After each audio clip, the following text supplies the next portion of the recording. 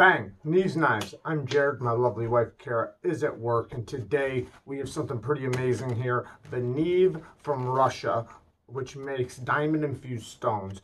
Asked us if we wanted to check out some of the stones, and we absolutely do. I, you guys know, I love sharpening, and these are some of the best sharpening stones on the market, arguably, but uh, I mean, yeah.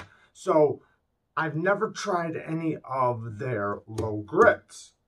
And not only did they send me a low grit, they also sent me two other stones plus some of their diamond compounds. I'm really excited to try these. And these, each one of these plates are double-sided. So it's basically six grits all in one. We are going to use them in this video. Let's get to it. By the way, we are going to be giving some of these stones away here coming up pretty soon. So I'm really excited about that. Yeah, so watch out for that.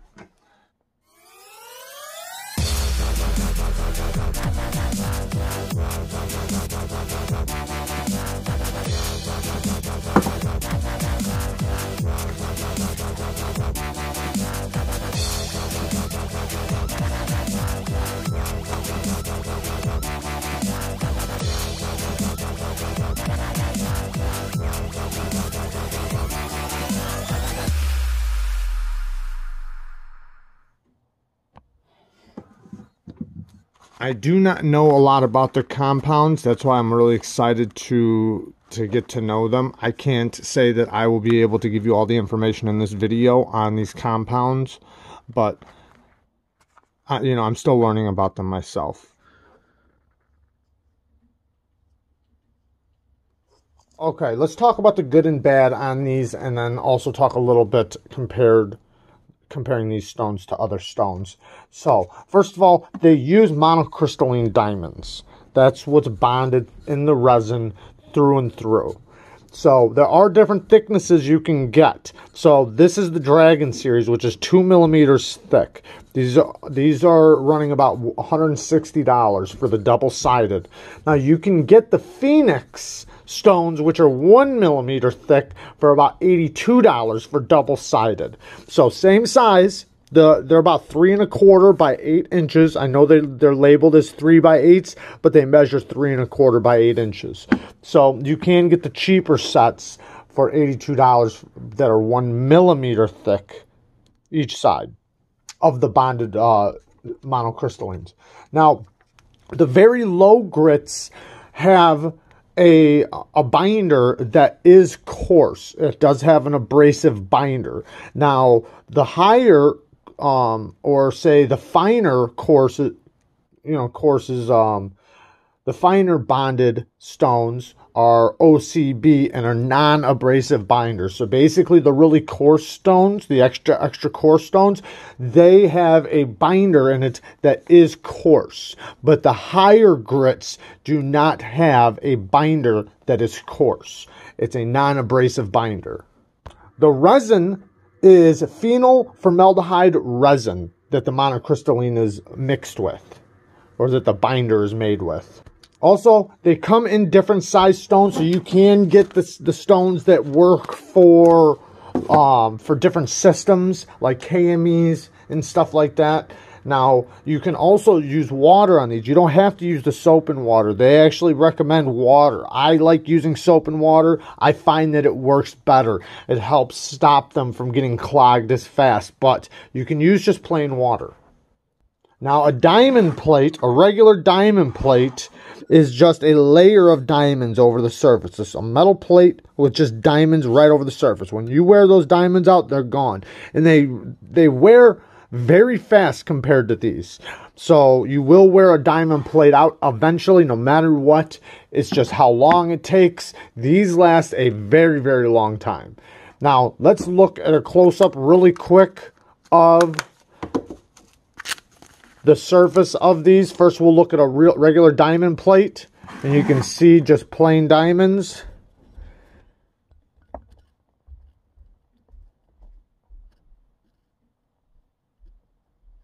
And then we'll look at a, uh, the surface of one of these.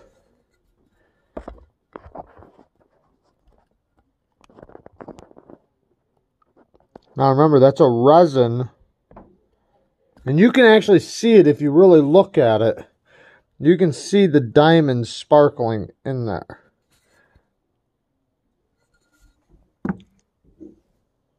Now, they kind of feel similar to a ceramic stone, but they they have a little bit of cushion to them, and that's the resin. Now, a they do build up though a lot like a ceramic stone does. How they build up and you got to clean them off.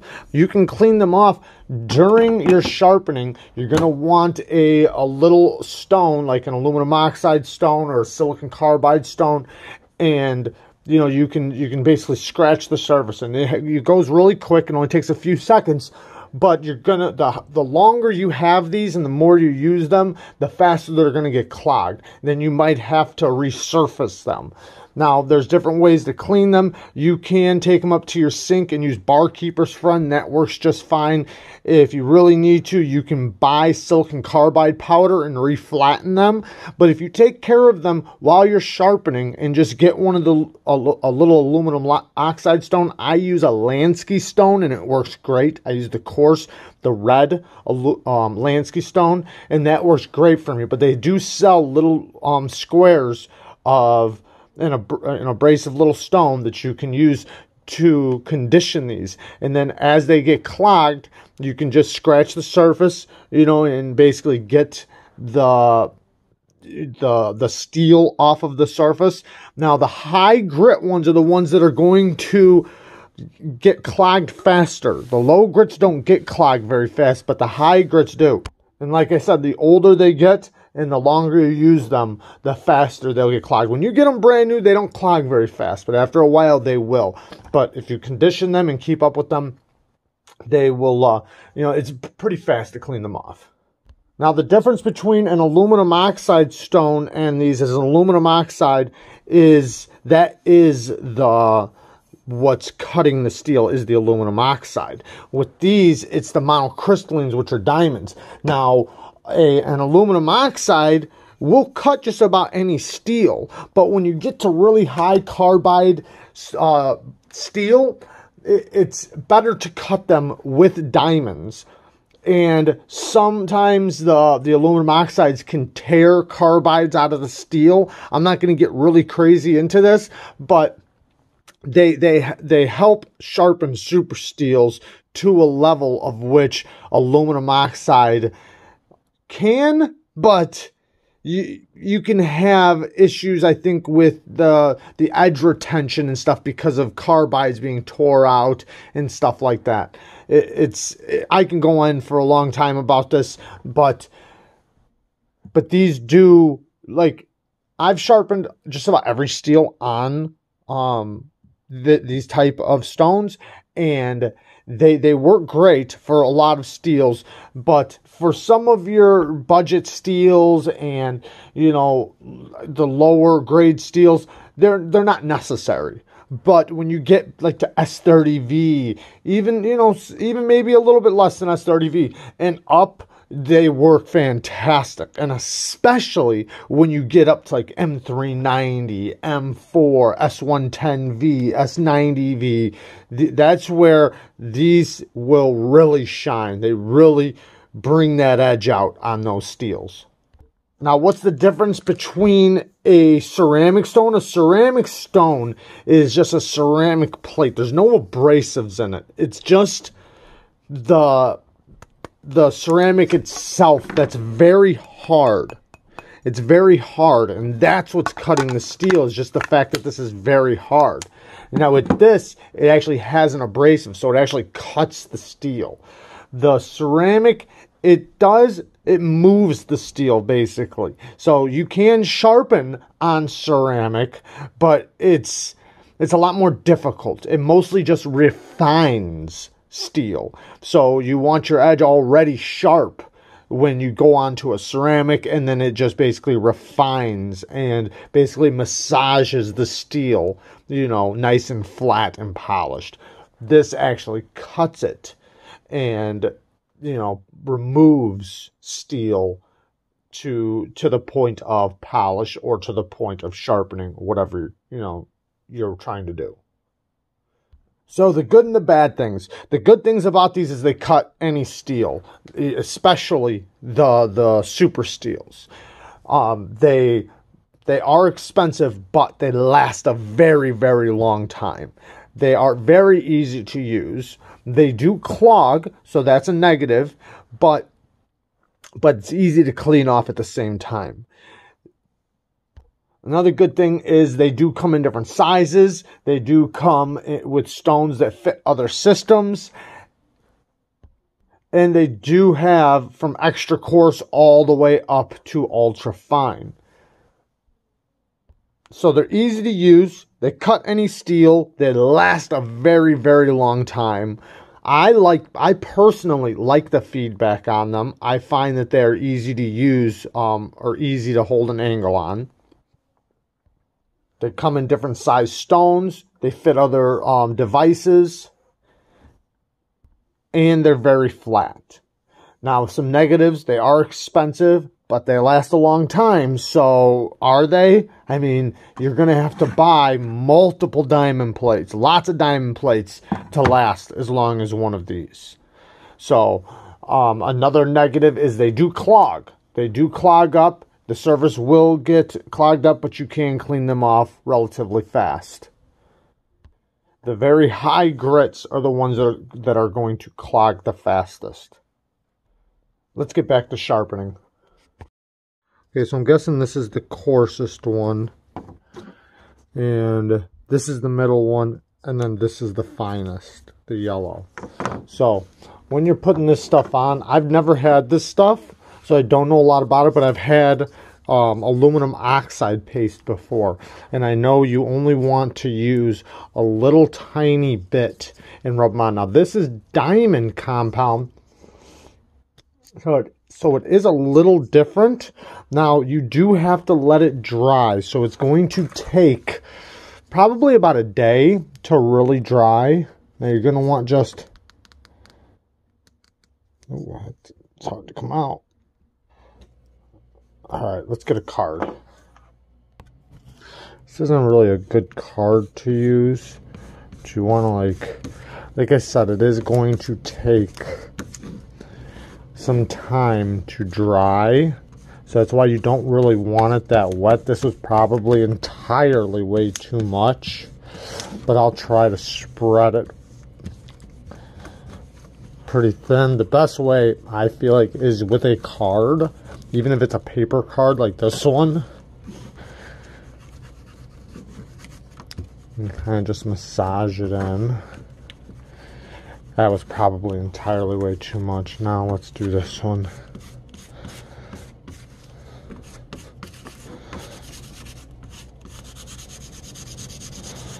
Yeah, this one's not really spreading as good, but here, let me go like this.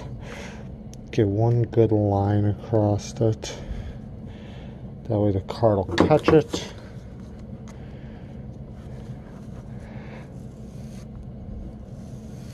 There we go. See how it does that?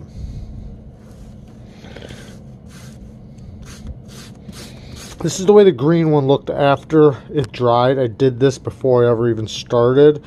And I did try it a little bit. So, but you see how light I put it on? It worked pretty good. So, now you don't want to use this now for a while because what it'll do is it will just like it'll make your edge pasty right here I'll show you what it'll do.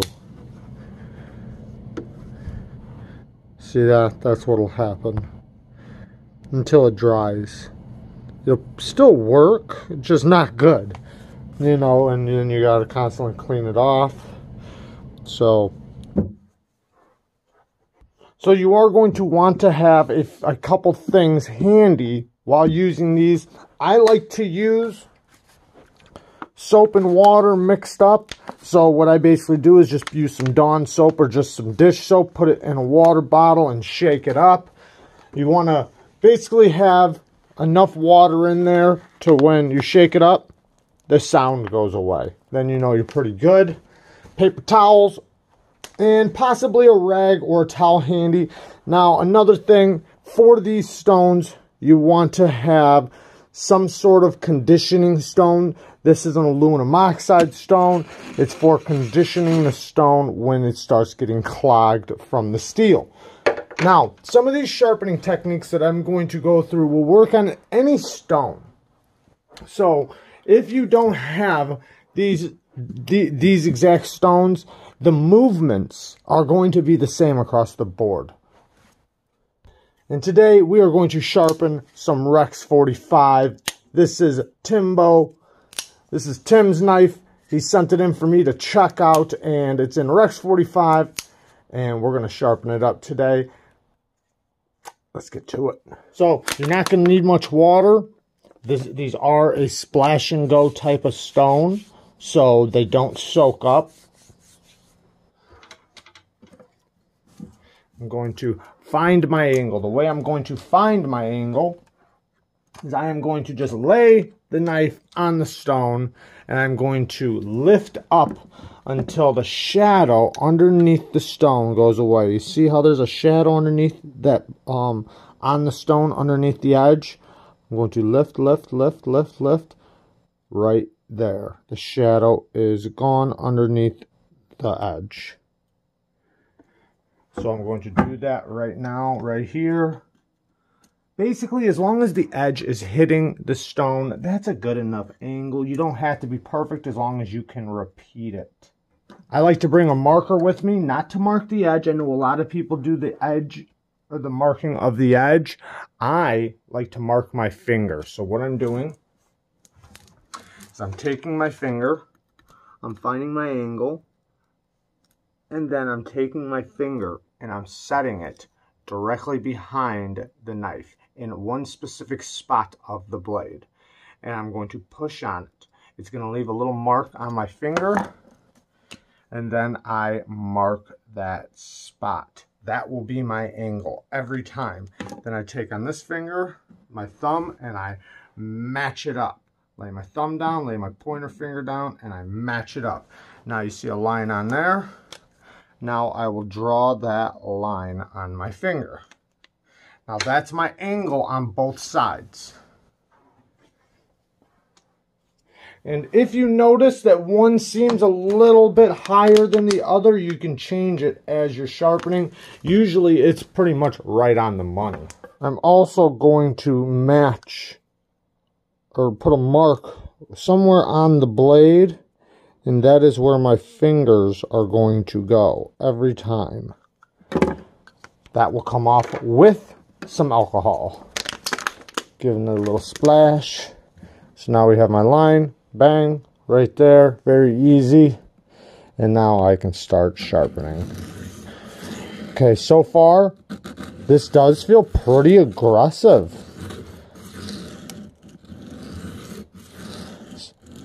It doesn't, it feels kind of like a diamond stone, but not quite because I feel like there's like more, you know, this is the first time it's being used, so it might just need to be broken in a little bit, but it feels like there's a little bit of slippery spots in areas. Yeah, I can already see it.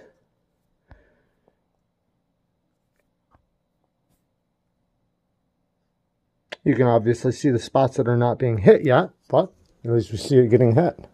I'm just going to hit this really quick like this. It's going to knock down some of those real aggressive areas. Some people do that to their diamond plates. I personally don't do that to my diamond plates. Do this because I like them very aggressive. But, um, and also they don't last as long as these stones. So I don't like to take life away from my diamond plates. I just let them break in naturally.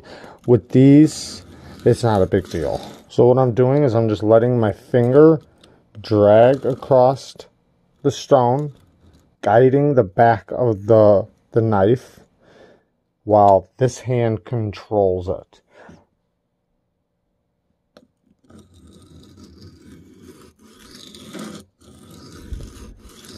And then on my finger, I can feel if it moves at all.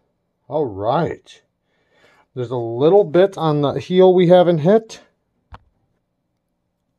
We will hit that here in a second. Those are usually the hardest spots to hit on a Spyderco that is new or that's uh, got a that's got a factory edge. Now, as long as your finger is guiding you, all any movements you make is going to be pretty much okay as long as you don't change that angle.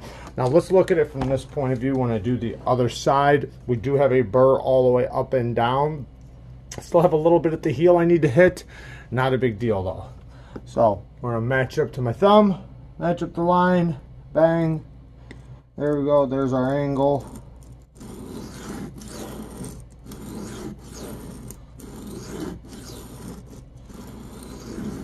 Now as long as my angle stays the same, I can move back and forth, across. I'm going to want to lift a little bit when I get towards the tip, just to get the tip.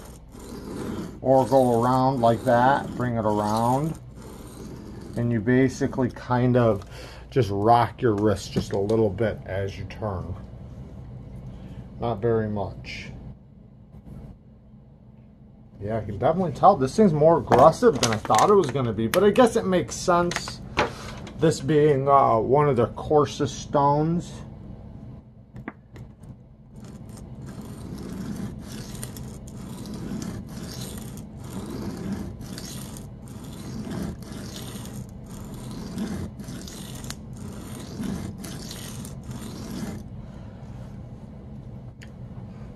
This thing's gonna have a screaming sharp edge when we're done. No burr yet.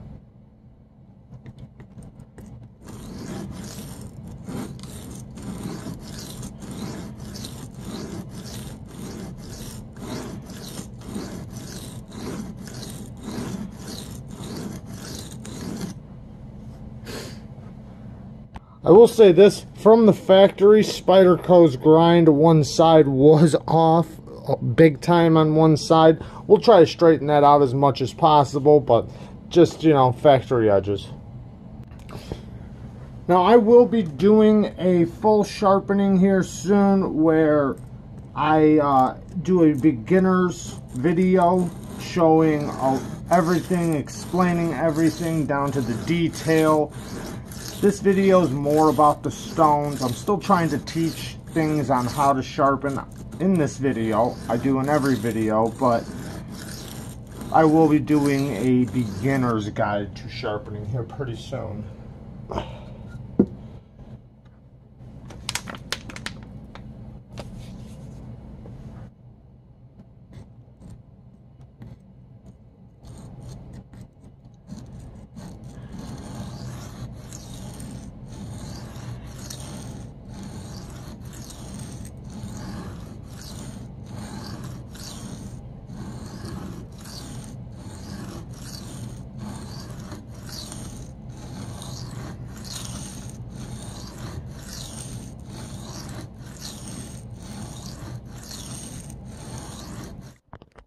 I decided to bring everything over here to my bench so I could sit down and sharpen. So I think it'll go a lot faster with this desk and me lower, especially while filming. I know the angles might not be as good, but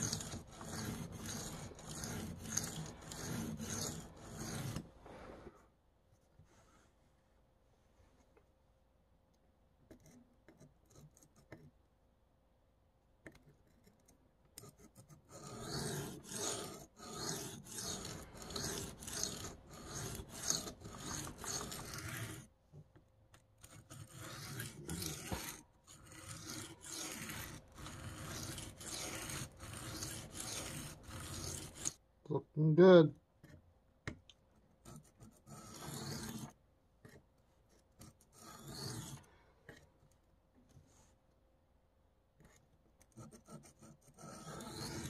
You can see at the top here where I'm having trouble hitting because of their grind. Let me see how my, my angle's going good everything's going good then right there and the other side's looking good it's a little dirty we'll clean it up and look at that in a second but it is what it is. You just keep on sharpening. So sometimes what I'll do to hit that now is in order to hit that, instead of going the same way I'm going across the stone, which is like this. So I'm going to go across the stone and kind of watch my wrist right now. I'm going to just kind of teeter, not back like this. So I'm first going to lift and then once I get to the tip, so now I'm up higher, going across the stone, I'm to the tip now. So now I'm hitting the tip, but when I'm doing that, I'm going to go up, hit the tip, and kind of rock a little backwards. And it's such a small movement, you you couldn't, you wouldn't even know I'm doing it unless if I told you.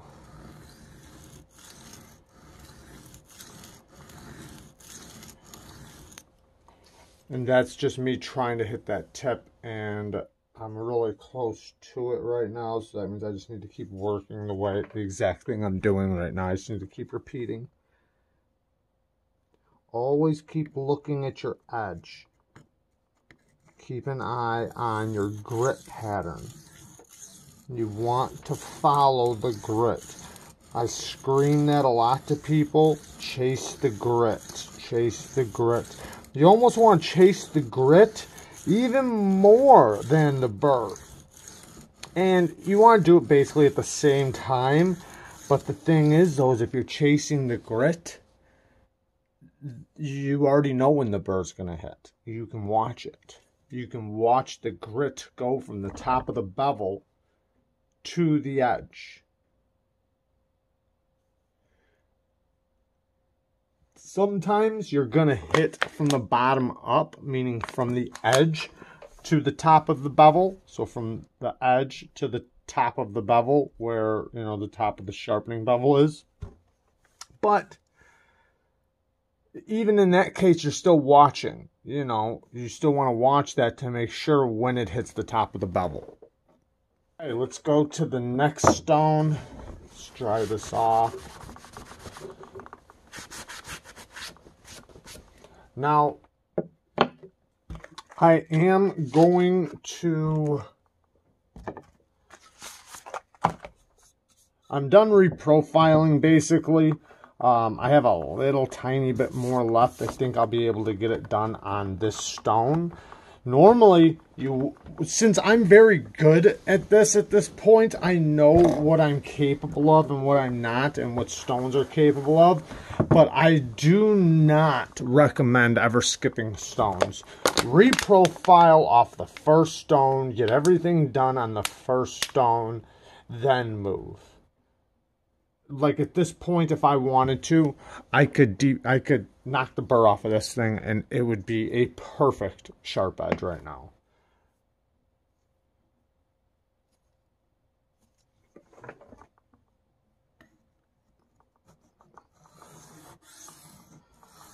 Yeah, this feels really good. This kind of feels like a 1200 grit diamond plate.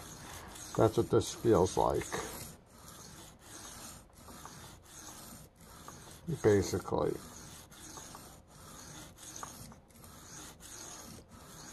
And this one is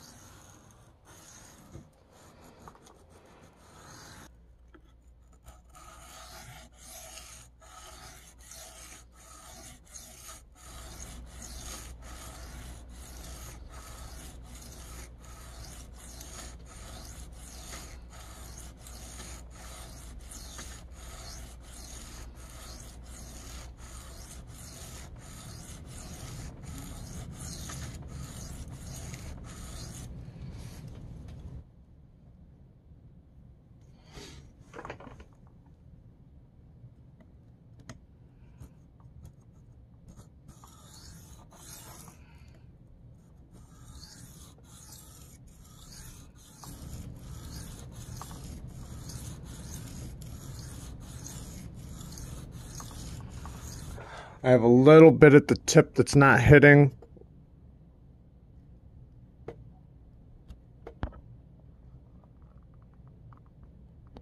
See that at the tip? I'll get that on this next pass, hopefully.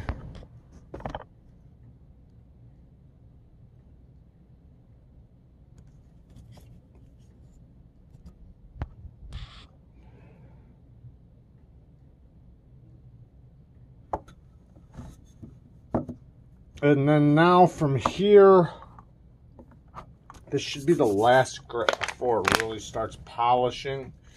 It should basically start polishing from here because that last one, you know, is a lot like a 1200 grit. So from here on out, it's basically just refining. So I could have ended on that stone 100%. And I, I mean, this thing is very, very sharp. But we're going to take it all the way. Now this stone, a lot less feedback. It feels really good. This one feels more cushiony. It feels a lot more which makes sense. It, it probably has uh, less or finer diamond in it and more of the compound or, you know, whatever they make the stuff with. I can tell it's building up faster too. It's loading up faster. Hope this lighting's alright. Yeah, it's definitely uh, going to start polishing, especially after the stone. This is like the last stone, seems like before a real polish.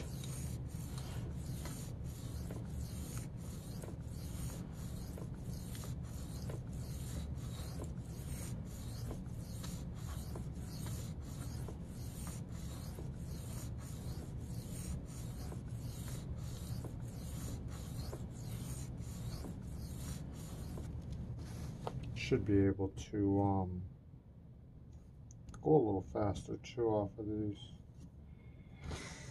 Yeah, that burr's moving back and forth. I probably could just change stones already. I'm just going to do one more pass across these and then I'm just going to go to the next stone.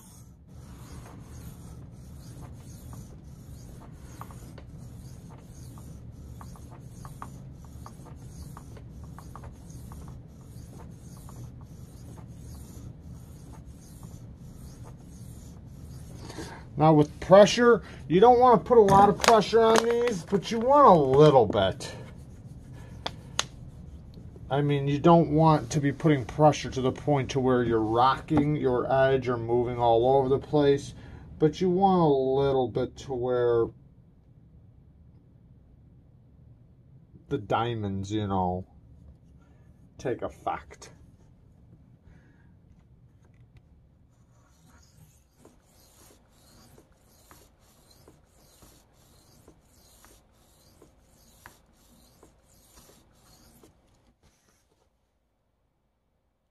Then obviously the harder you push, the faster it's going to work.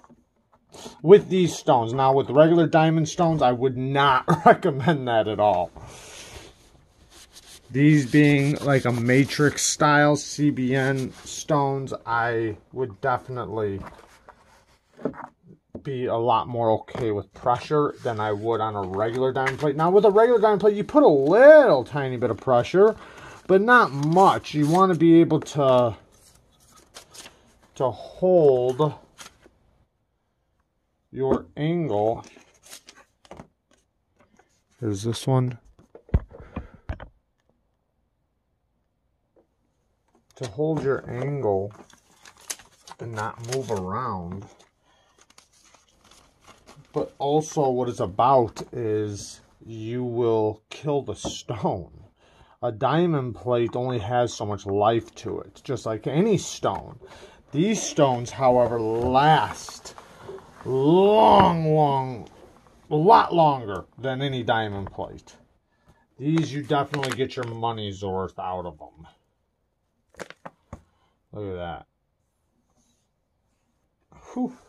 That was beautiful. Oh, you guys missed it. It was blurry. I'm sorry, guys. It's just the way it's soaked up. All right. Let's go to this side first.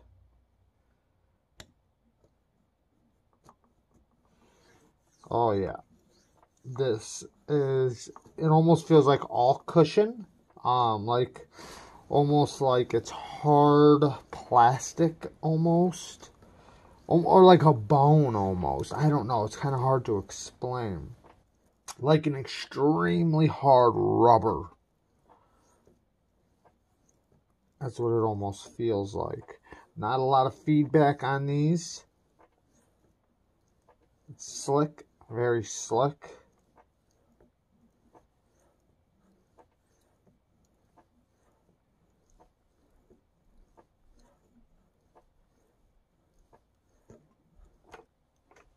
Oh yeah, look at that. It's really polishing now. This next uh, plate is going to for Ooh, yeah, that's sharp, boy. Damn, that's the thing with these, man. They really bring these super steels out of the. Uh, I mean, they just they make the best of them. Other stones, man, you can definitely use, work like with diamonds, yeah, of course. But other stones, yeah, they'll make these things sharp. But these just work so much better. You can probably use a little lighter pressure on these polishing stones. Especially uh, the longer you're on it. Man, the polishing side of these really goes a lot faster. I'm about to flip.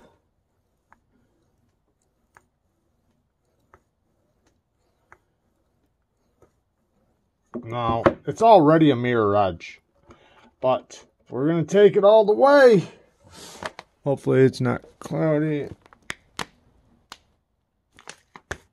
Not a lot of feedback.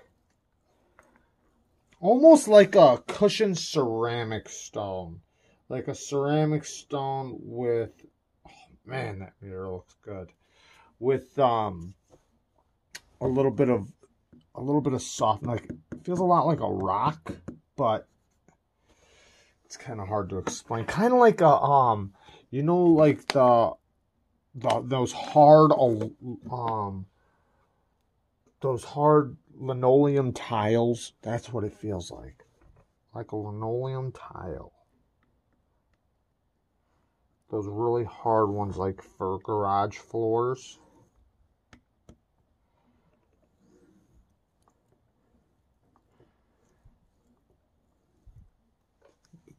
Stone's getting just a little bit clogged. I'm just going to wipe it down a little bit.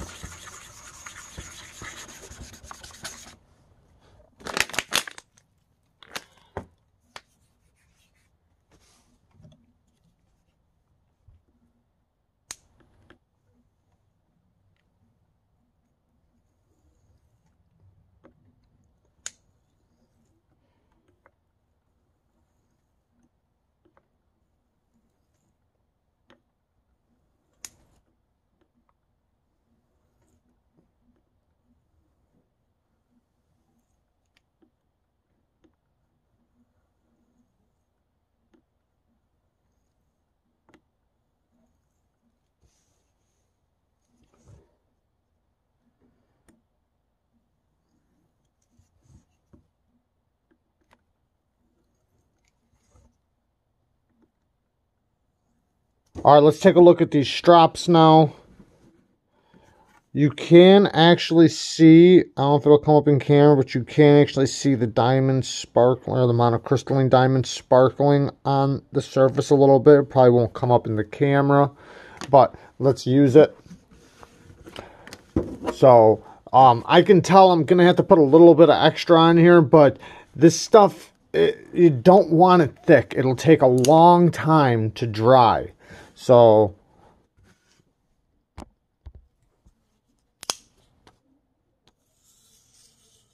Oh wow, I can actually feel it. Wow.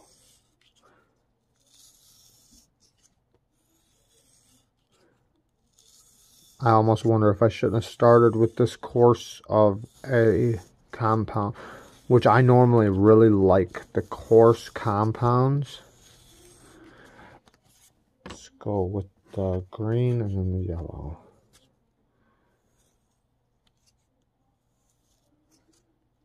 These are just test samples of leather.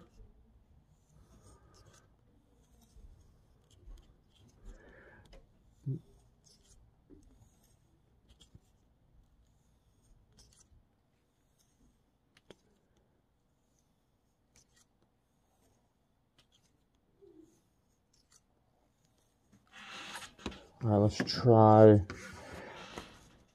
the finer one.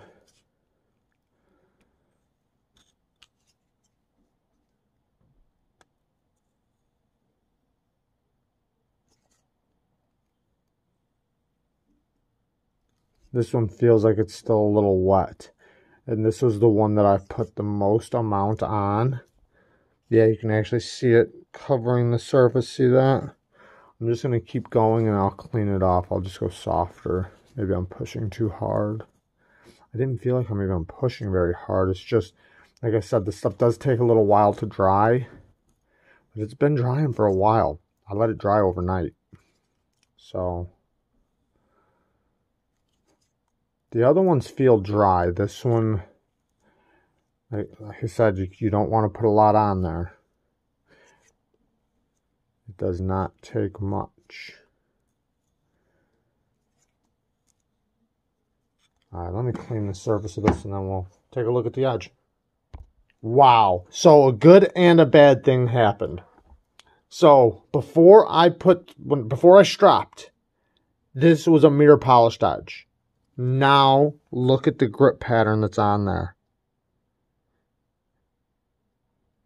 So they actually scratched the surface into a grit pattern. Now, why is that a good thing? Because I like stropping compound that actually leaves a bite behind the edge. And boy, did it. Wow, it is very sharp.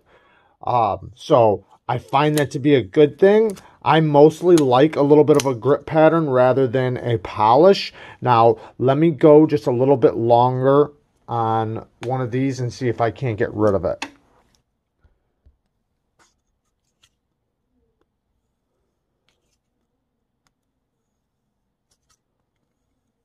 Which I think would be this one. This one I think would be... It's weird. The green one feels a little less coarse, but I think it's just because I put less on there. But from the stone, I really, I didn't need the strop. I really didn't. I was just trying to use the compound for the first time. And remember, this is my first time using these compounds, so, you know, don't hold it against me if I, if I used them wrong and I shouldn't have used the black one. Maybe I should have only used the yellow one fresh off of these stones. But it is what it is. I, I, it's not a big deal. The edge still looks phenomenal. Let's look at the edge. But it was a complete mirror edge from the stone. Look at that. I think that looks beautiful, to be honest. Let's see if I can clean it off just a little bit more.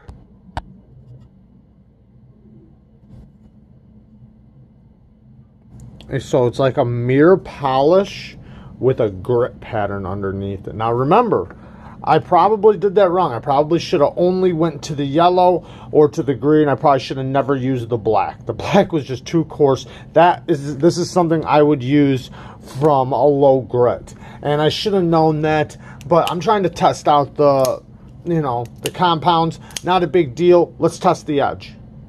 Let's start with a paper towel.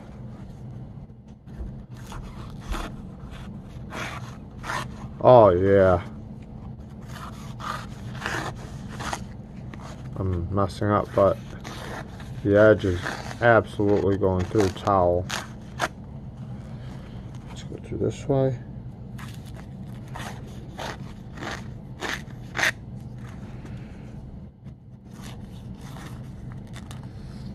It's me messing up, but here, let's go at an angle. Very nice.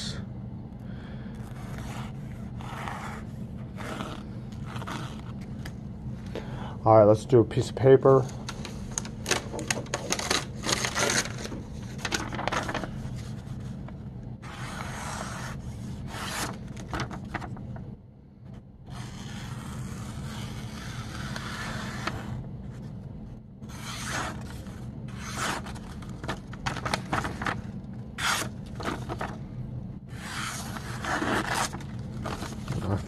This paper's hard to hold.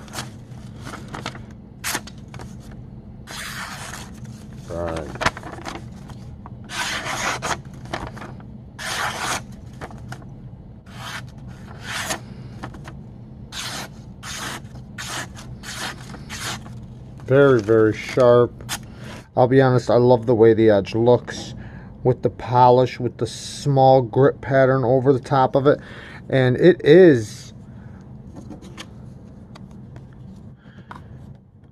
still got the mirror on there.